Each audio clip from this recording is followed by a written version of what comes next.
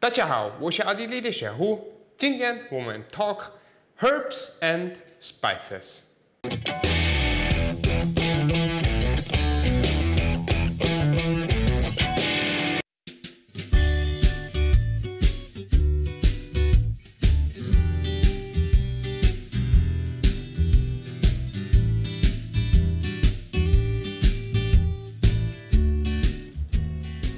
A lot of you guys have been sending me questions about herbs and spices. What is the difference between these two and what is the difference between dry and fresh herbs? So today I'm making a really short introduction video to the world of herbs and spices, but this is really just scratching the surface because there is thousands of different herbs and spices out there that can be used for cooking. Today I just tell you about a few of them that I often use. Very general spoken, you could say the difference between a herb and a spice is a herb is a fresh plant which will be used just picked from the plant and then put into the food product to basically give this kind of flavor like the herbs that I have here. Some dill, some fennel, rosemary, thyme, basil. I have some tarragon here and some parsley. On the other side spices would be more likely a dry product that has been gained from a fruit, a root, maybe a vegetable to produce some sort of a dry spice. Like these fennel seeds that I have here. These are dried fennel seeds. They are considered to be a spice where this, for example, is the fresh fennel plant. Here would be the fennel root and on top would be the fennel herb. So we have fennel as a spice version because it is dried and fennel as a fresh herb as well. Let's start with some herbs. This is rosemary, a very, very popular herb from Italy. It's a Mediterranean herb, so it is mainly found in Italian cuisine.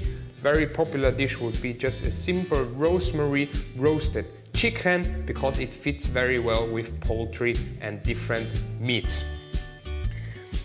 This is thyme, it is the small brother of rosemary, often combined with rosemary together. It's also a Mediterranean herb, but also can be found in many different French dishes. For example, the French onion soup can take a little bit of thyme. It goes also well with meat, sweeter vegetables, pumpkin, all kinds of dishes. Next one is a very popular Italian herb, fresh basil, oh, it just smells so good. Basil is very special because it's a very fresh plant. It becomes bad really, really quickly. One or two days in the fridge, it can already be brown. It's not like this kind of woody rosemary, which can be kept quite long. It also is not as popular for cooking long time because it just becomes brown and loses lots of flavor. Mostly it's used really just fresh like this. You pick a leaf, you throw it on the dish. You saw it many times on pizzas. It's also often used on pasta with tomato sauce. It pairs very, very well with tomato. It has a really fragrant, little bit sweet smell and it just fits with that kind of tomato flavor. Also for my pesto video I use this kind of basil and many pestos are basil rucola pestos, very nice herb. The next herb here I have is dill.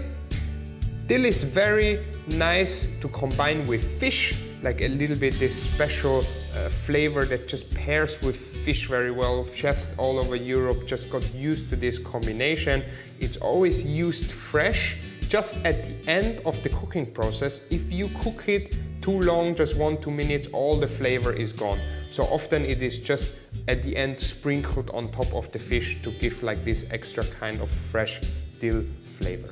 Another herb is the tip of the fennel can be used same as dill. It looks very similar, but it's not the same. Fennel has a very unique flavor as well, can be used in the same way for seafood, but also paired with other vegetables. It's very nice. Don't cook it too long, same as the dill, it will lose lots of its flavor. The vegetable fennel itself can be cooked a la creme or put in pies, something like this. Fennel is also a Mediterranean vegetable, but now it can be found in lots of other places around the world. Parsley is one of the herbs that can be found a lot in China. Chinese chefs, they like to use it for garnish of fruit salads. And to be honest, I've seen it as a garnish on all kind of different dishes. It's mainly because it just looks very cute, like small and fluffy. It's also an Italian herb, but it has spread all over Europe very quickly. In Austria, we use parsley to garnish anything. It fits with potato, it fits with meat, It's a very universal herb that European people adapted to lots of different recipes. The next one is sage. Sage is a very strong herb. It has really unique, super strong flavor.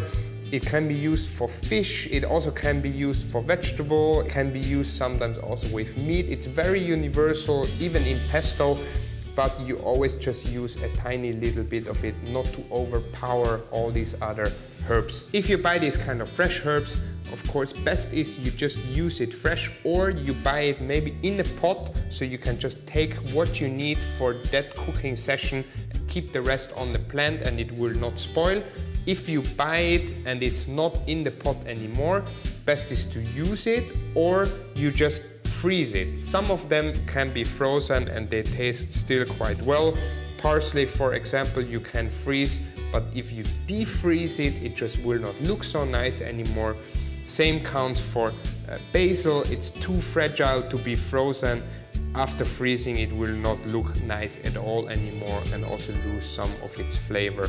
Another possibility is to put it in oil and basically make something like an infusion of the flavor into the oil. These are just one of the few fresh and popular herbs that I have here today. If you have any other herbs or you have know a herb that you have a question about, just ask me. Nearly all of the previous mentioned herbs, they can be bought also dried. Basically, this is just for convenience reason. Like this is dried rosemary. So here we have the fresh rosemary. Here we have the dry rosemary. Because people not always have access to fresh herbs, they like to have dry herbs at home in the closet for whenever they need them. Basically, dried herbs have the same flavor, but not as strong anymore. Many chefs prefer to use the fresh version, but to be honest, in a household that doesn't cook that often, doesn't use that much herbs, a dry version is always nice to have. I also have some dried parsley, some dried thyme, and one of the dried herbs we use a lot is bay leaf. Lots of people prefer the dry version. Let's talk about some dry spices. Here I have some cinnamon, star anise and clove. These are very popular in China already. Chinese people like to use it for meat Actually, in Western countries, we more likely use it for sweet things. For example, Christmas bakeries, also the Glühwein, as you saw, I used it. Besides of that, of course, there is many, many other spices that come from different countries all over the world. In India and Middle East, they have a broad variety of spices that they use. One, for example, would be turmeric, this very yellow dried version of a root is used in many, many curries. It also is being used to, for, as a coloring. Actually, the flavor is not that strong. The color is much, much more stronger than the flavor. Another popular dried spice I use a lot is this kind of paprika powder. Basically nothing else than very dried out bell pepper there's many different sorts of paprika powder, more sweet ones or more spicy ones. Bell pepper, chili pepper, different pepper variations can be made into paprika powder, chili powder or cayenne pepper. You need to find one that you like, if it's more sweet or more spicy, and that you can use for many different kind of recipes. I use it, for example, to spice goulash, but it can be found in lots of different Western recipes. Cumin is another dried spice that I really love Basically, cumin has made it everywhere in the world. It has been used in the Eastern kitchen, it is used in the Western kitchen. In Tyrol, we have a national dish, which is just fried potatoes, and the only thing goes into it is onion, butter, potato, and cumin. So I would say cumin is a real international player. A few other spices I have here would be red pepper, I have some coriander seeds which I use for my fried chicken, also some cardamom which can be used also for the glühwein, it has a very strong flavor. Here I have cloves, everyone knows, and also juniper berries which can be used for, for example, some sauerkraut. It just gives this extra touch of flavor. Overall, you could say that herbs are more used in classical Western cuisine because herbs were the ones that we actually had, especially Mediterranean herbs that slowly made it up from Greek and from Italy into other Western cuisines like French or Austrian cuisine. Parsley basically has been all over the place. All these dried spices like coriander seeds, cumin, cinnamon, star anise, they slowly came from the east with the trade and slowly also gained spaces in Western cuisine. Nowadays, to be honest, Western chefs, they like to make all kind of crazy combinations. They like to cook classical dishes, but spice them up with Eastern spices using this kind of fresh and different flavor combinations to make these really special fusion Western dishes which of course is just how it should be because the world of food should not know any borders. 谢谢你 看我的视频，是你让我想要努力拍更好的视频和说中文。